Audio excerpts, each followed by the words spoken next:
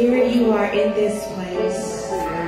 We thank you, God, for your faithfulness. We thank you, oh God, for your grace and your mercy. God, we thank you for your presence in this place this morning. Holy Spirit, I ask that I may decrease and that your Spirit, oh God, may increase in me. Have your way. In Jesus' name we pray. Amen. Amen. It is such a privilege and honor to be here with my family, Christ Amen. Church. Um, I thank God for my friend and uh, Pastor Monica. I thank God for um, two other friends who are here, Ashley and Aaron, who've come all the way from uh, Maryland and uh, near um, Richmond, the Richmond area. They came far to be here with us this morning. And I just have to thank God for my best friend, Mr. Matthew Aaron, for your constant support. Uh, there is a word from the Lord this morning on this Women's History Month Sunday, and it comes from Exodus chapter 2, verses 2 through 4, and it reads Now a man of the tribe of Levi married a Levite woman, and she became pregnant and gave birth to a son. When she saw that he was a fine child, she hid him for three months. But when she could hide him no longer, she got a papyrus basket for him and coated it with tar and pitch. Then she placed the child in it, put it among the reeds along the bank of the Nile. His sisters stood at a distance to see what would happen to him. This is the word of the Lord. For just a few moments this Women History Month Sunday, I will be preaching upon the topic of pleading guilty. All right. Pleading guilty. Amen. In my second life, I believe that I am a private investigator because I've watched more criminal cases and shows than I am willing to admit. As a natural problem solver, I find it interesting how people can use tools to solve problems and to bring justice to injustices around the world. I mean, I am no detective, but I do believe that God created women with a sixth sense to detect the truth. a Amen, somebody. I've learned recently in the court of law, women have transformed the world. In 1852, Susan B. Anthony attended her first woman's right convention and spent many years in court fighting for women, which succeeded in the 19th Amendment and for the right for women to vote. She was guilty of desiring voting equality. Uh-huh. In the famous Brown versus Board education, it was fighting for the freedom for Linda Brown, who was denied entrance into Topeka's all-white elementary school. She was guilty of wanting to end segregation. Clara Shortridge Foltz was the first female lawyer in, on the West Coast, and her legacy with the courts allowed her to pioneer the idea of the public defender that we know today. She was guilty of expanding opportunities for future women lawyers. In Bradwell versus Illinois, the Supreme Court of Illinois refused to grant a woman a license to practice law on the ground that women were not eligible in the state law. Mrs. Bradwell was guilty of wanting equal professional opportunities. To plead guilty instantly comes with a sentence and fear of having to do jail time. It admits that a crime of some nature has been committed. But if there is an inequality, unfair treatment, and a person stands up for their rights, being guilty of paving a way for others, guilty of challenging systems, guilty of wanting fair wages, the right to vote, the right to marry, the right to work, then sign women up guilty as charged. If being guilty means that your DNA and fingerprints will be found on the scenes of serving the poor, praying for unbelievers, pulling up the next generation, helping our brothers and sisters in need, if your fingerprints will be found on the hearts of the brokenhearted and the forgotten, then yes, those fingerprints are indeed mine. And society is not going to intimidate me from pleading guilty of following Jesus in a society that will rather follow one another. Amen, somebody. And on this Women's Month, uh, History Month Sunday, I want to remind all of the women and the men before us, not on our watch.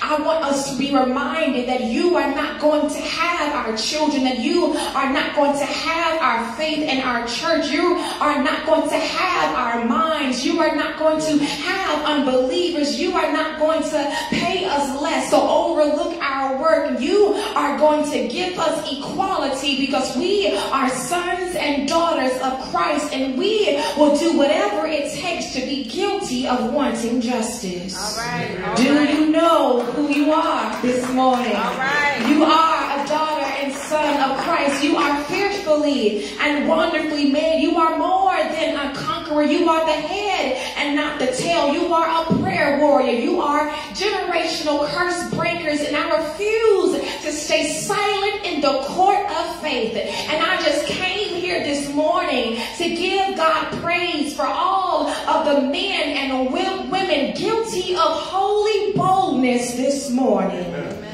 Ah, during the times of this text, Pharaoh was over Egypt and asked for all of the Hebrew women to kill their boys at birth. Mm-hmm. He feared that they would overpopulate Egypt, becoming more powerful, and he wanted to keep the population down.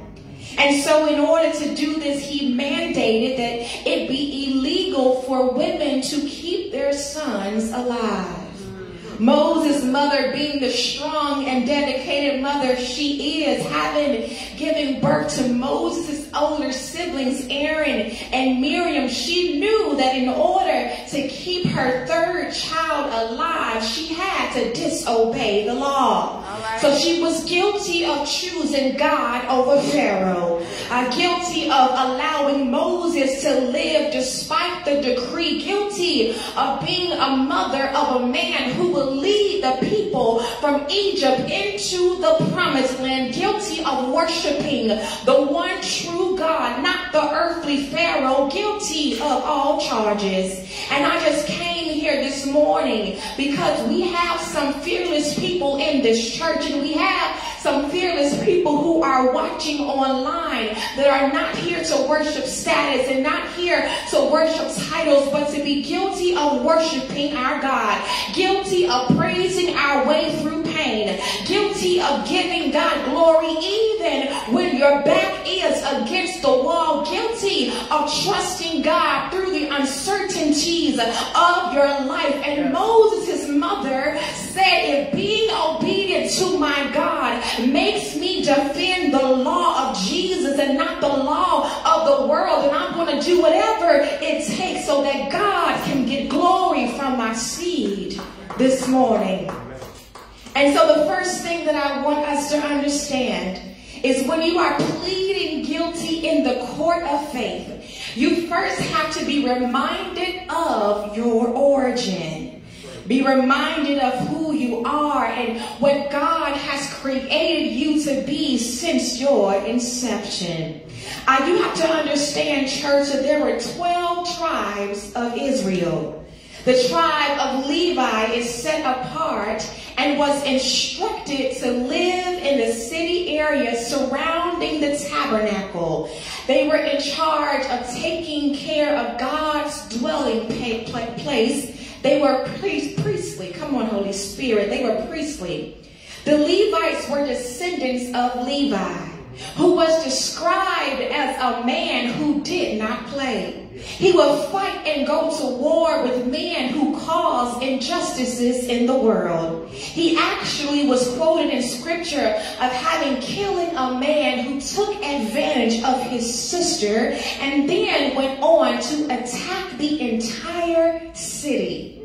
Levi had a desire for righteousness, for justice, and came against sin. So Moses' mother and father are descendants of a man who led a tribe and stood up against injustices in the world. They had the DNA of a man who was unafraid to go to war and to uphold the holiness of God.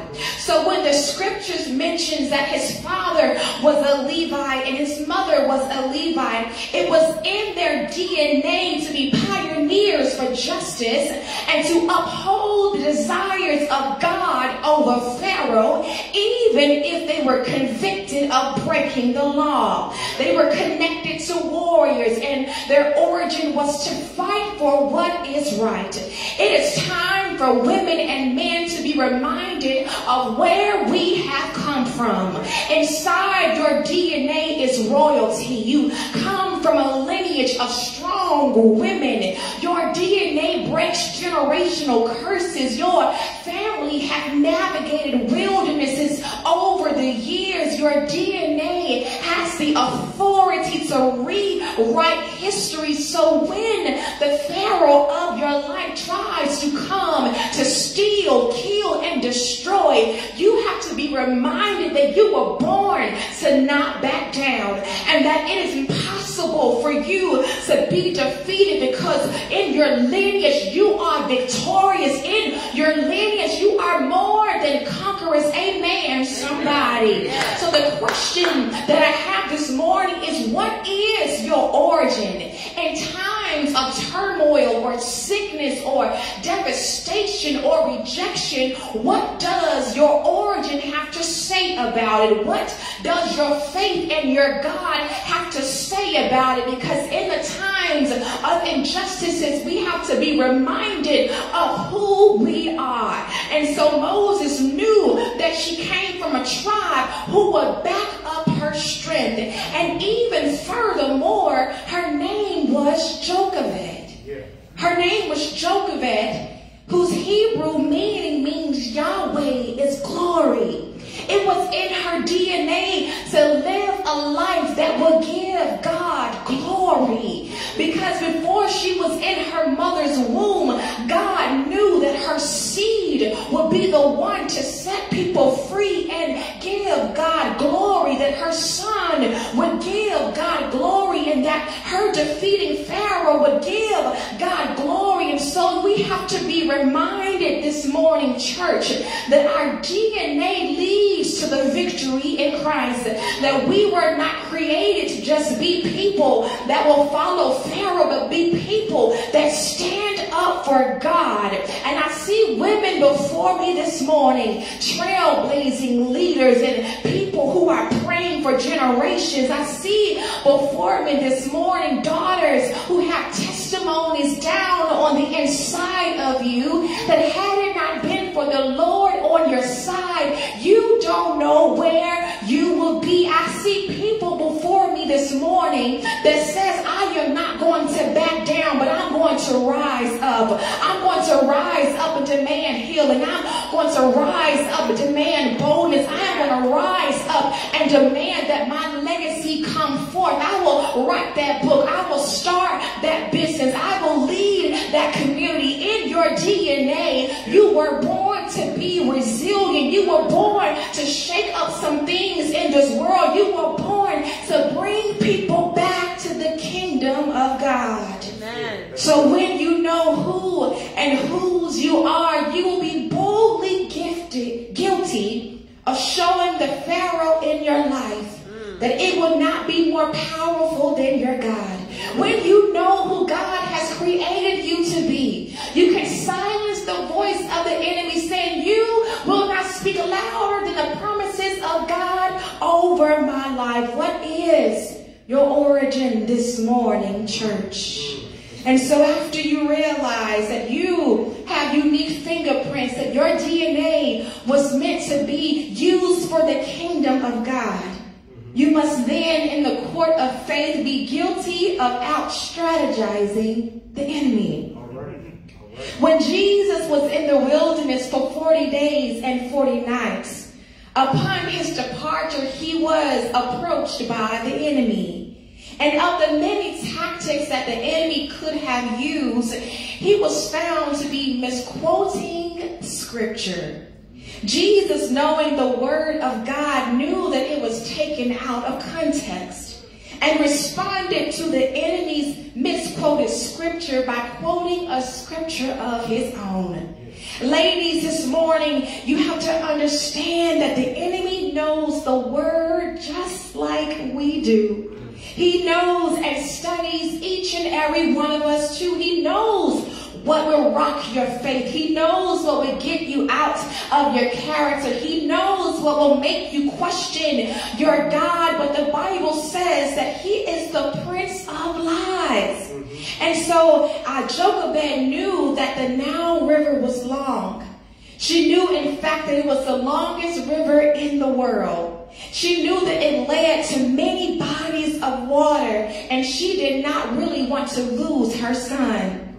So she was also aware of a particular route that would cause him to have slowness down the river. She was a woman of strategy. She knew that the enemy was talking and God downloaded down on the inside of her a different way. And so while Pharaoh had a strategy of how he would kill the sons, God gave her a strategy of how she would keep him alive. All right. Scripture reminds us that when she saw that the child was fine, she hid him for three months. But when she could no longer hide him, she got him into a papyrus basket for him and she coated it with tar and pitch. Then she placed it into the river along the reeds of the bank. Papyrus is a plant that is highly buoyant in the water. It is durable, and during these times, it was this plant that they used to make boats to travel down the water.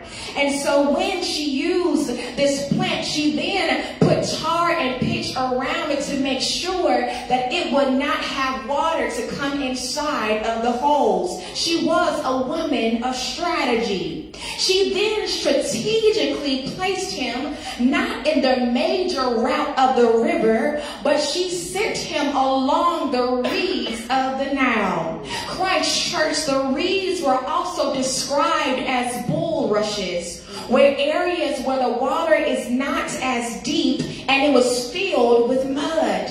So this allowed for the basket to go down the river at a slower pace. Are you with me this morning? She strategically placed Moses among the marshes, knowing that this was also near the place where Pharaoh's daughter would bathe with her servants. She had strategy and precision. All right. How are you going to out strategize the enemy in your life? Somebody is about to pray like never before. Maybe you are about to get in your word and be reminded of the promises of God. Uh, somebody is about to open up their mouth and ask for help. Mary had strategy. Ruth had strategy. Hannah had strategy. Rosa Parks and Harriet had strategy. Mother Teresa and Helen Keller had strategy. Your mothers and your praying great grandmothers had strategy. And when you realize and you strategize with the Lord, there is not a fair fight because God is the ultimate strategist. He will make your crooked path straight. He will be a lamp unto your feet and a light upon your path. The word says that God will fight for you if only you be still. That a thousand may fall at your side, ten thousand at your right hand, but it will not come near you. Do not throw in the towel this morning, church. Get strategy. Do not surrender and be defeated. Get strategy. Do not give them a piece of your mind. Do not seek revenge. Do not fight with your words. You have to out strategize your Pharaoh. Pray your way through praise, your way through speak, your way through walk, run, but crawl your way through. Do not let the enemy out strategize you with defeat. And if you're watching online, type in the chat, I am guilty of strategy. right. This time I'm going to fast and pray about it. This time I'm going to hold my tongue. This time, I'm going to walk away. I can't respond to that text right now. I got to pray about it first. I need strategy. I have to see what God has to say. I have to see how God wants me to move. Do I need to go left? Do I need to turn around? But I'm not going to take a step until I strategize with the Alpha and the Omega, the beginning and the end, the one who sits on the throne with all power in his hand.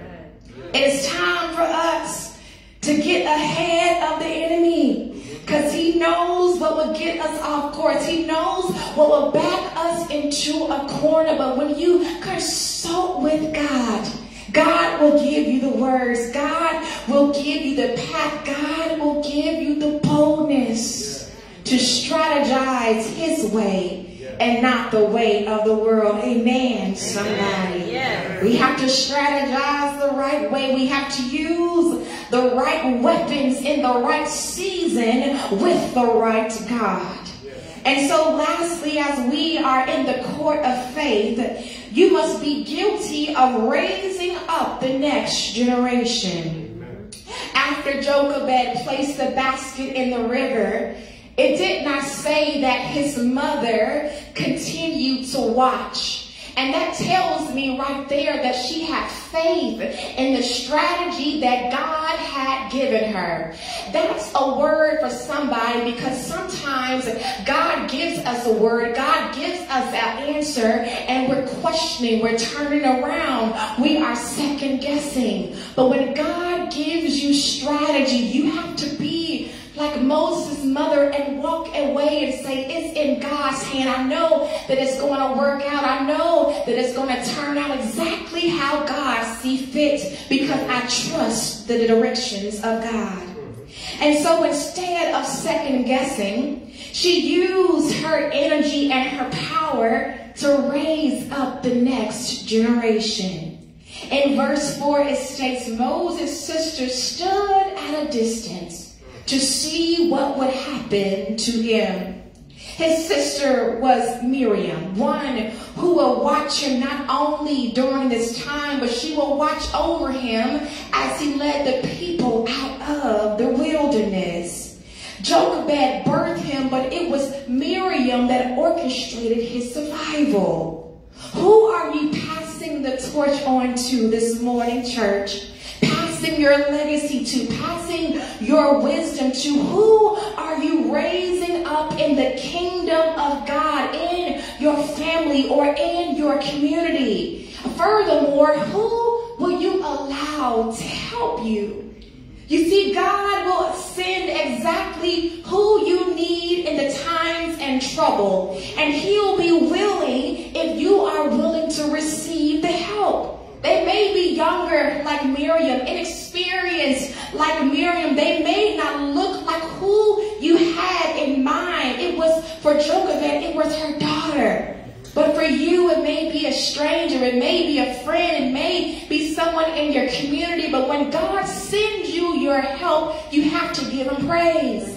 Because he will send who you need. He will send what you need when you have the courage to trust his, his, his way.